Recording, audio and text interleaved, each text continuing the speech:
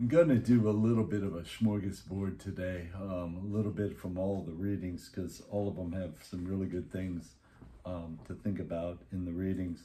Um, one is in the book of uh, the prophet Isaiah, Isaiah 45, it says, Just says the Lord uh, Cyrus, whose right hand I grasp, doing the nations before him, making kings run in his service, open doors before him, and leaving the gates unbarred. Um, so, you know, it'd be one thing if it was the Lord's anointed was David or the Lord's anointed was uh, Saul or, or Solomon or Hezekiah, but to have uh, Cyrus, who's a Gentile, who's a Zoroastrian um, from Persia, as the Lord's anointed was kind of interesting.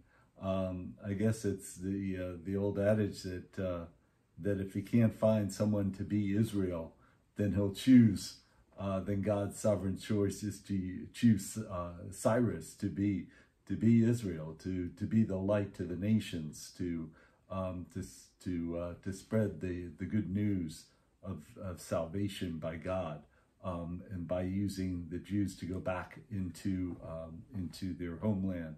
Um, that Cyrus is being that king. Um, the other one that's interesting is in um, Paul's first letter to the Thessalonians. Um, he talks about coming to Thessalonica, uh, modern day Thessaloniki.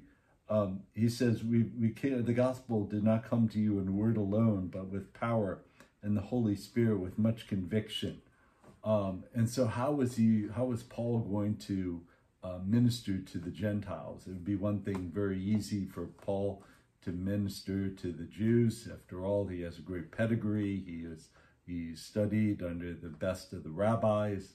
Um, he knows the Hebrew scriptures, but how is he going to minister to the Gentiles? And so he says that I came not just in word, um, but also in power and the Holy Spirit with much conviction. So, in other words, that his message went forth, but it was God who was uh, informing their hearts and God attuning them to listen to the message, God um, causing them to to become curious and to um, and to consider uh, Christianity. Um, so God was doing all those things. So it wasn't just his message. It wasn't just that Paul was a great speaker, although you can certainly see he was powerful in word. Um, but it was the fact that God's conviction was there. Because without that conviction, it would have been like, okay, that's interesting, you know, interesting what you have to say, but you know, we, we you know, you can you can have the God of you know this Jesus, and we can have um, you know Artemis and you know and all the other gods and goddesses, and we'll just take those, and you know, we can talk about that, but that's fine. Um, but again, with much conviction of the power of the Holy Spirit. Uh, in the gospel, what you have is that you have the people who are plotting against uh, Jesus doing the divide and conquer. So you have the Sadducees, those who controlled the temple, uh, those who believed only in the first five books of the Bible, uh, Genesis, Exodus, Numbers, Leviticus, and Deuteronomy. Um, those who um, were fairly wealthy because they controlled the temple um, and fairly powerful. You had the Sadducees who had the synagogue, and the synagogue was really the place of worship on a particular Saturday to hear the Hebrew scriptures proclaimed uh, and discussed. And so that was uh, the Sadducees. The Sadducees believed that meticulously following the law, the Messiah would come. Uh, so they needed to meticulously follow the law. Uh, again, the temple was really only for sacrifices. The temple was for the, the various offerings of the law and for the festivals. But the daily, the week in and week out um, worship of God was done in the synagogue. So we have the Pharisees. Then we have the Herodians. The Herodians are those who are kind of like get along and go along.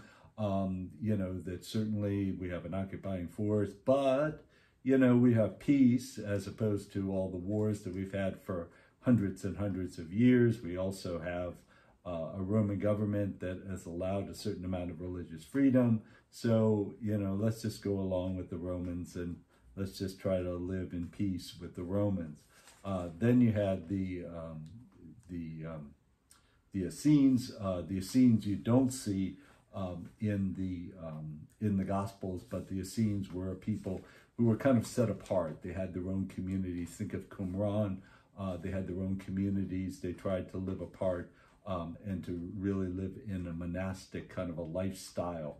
Um, many who were celibate, uh, they did have married families there with them, but again, periods of instruction and kind of like a monastery, so kind of set apart, even more so than the Pharisees.